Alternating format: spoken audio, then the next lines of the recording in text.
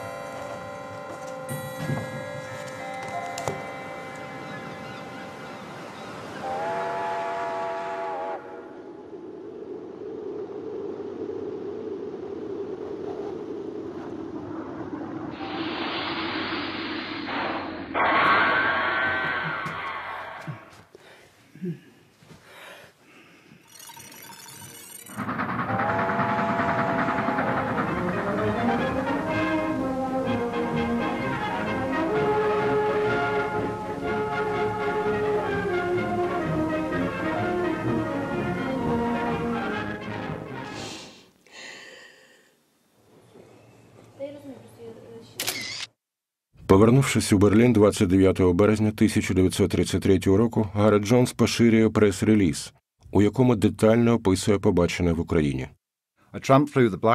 Я спеціально йшов пішки по місцях, багатих на чорнозем, бо кореспондентам забороняли туди йти і на власні очі побачити, що відбувається. Ти це думаєш, що це так, наче байочка, це не байочка, це, це страшне.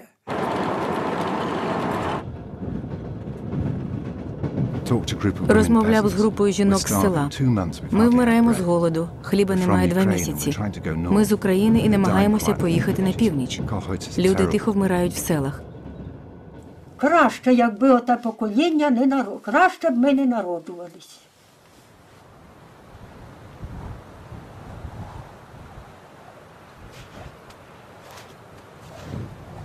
Більша половина села отут лежить. Не- тільки це тут з краю, а так там поховані, ото туди. Це ж знаєш, як тяжко це все пережити. Хоч я сама менша, так вона думає, все одно ж батько, мати, сестри. Де нема, всі там. А мені треба статися ж. Люди кажуть, худоба вмирає, нічим годувати. Колись ми годували світ, а тепер голодуємо.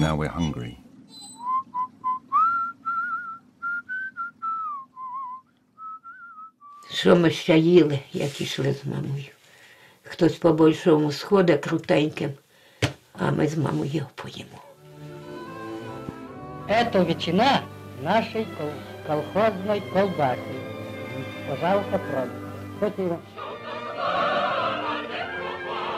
Широки и обильны колхозные нивы. Повертаючись додому, ці глядачі заспокоювали Європу. Більшовицькій Росії все добре. І дуже рідко хтось намагався порушити цей приспаний спокій. Ситуація просто жахлива. Набагато гірша, ніж у 1921 році. І мене дивує ваше захоплення Сталіним.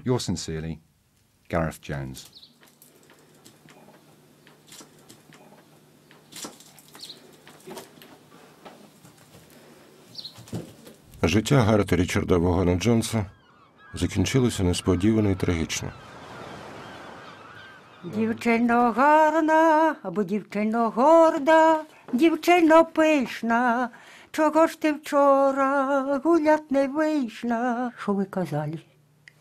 Я кажу, про що ви мрієте, баба Настя? Про одно, про смерть.